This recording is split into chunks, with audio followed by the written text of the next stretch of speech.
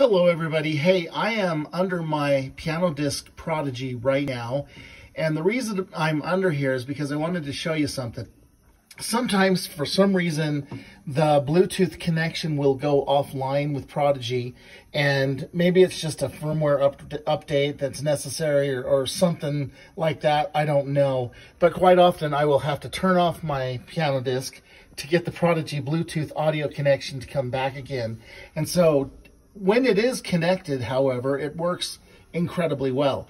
But just as a backup system, um, I'm using this little device right here, which you can get off of Amazon for 40 bucks, and it works incredibly well, and it's called a B06.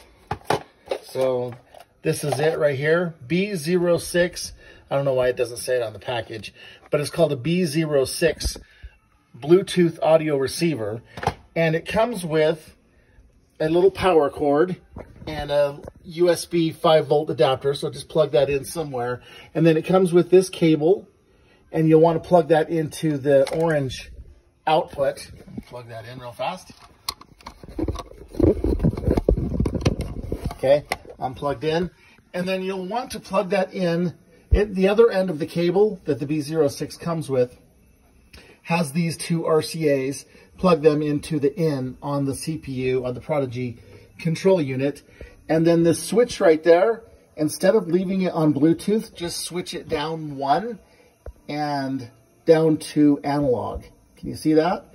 And then as far as connecting to this thing is concerned, just touch the top right there and then go to settings on your iPhone or your iPad and then connect to the B06 and then touch it and rename it whatever you want.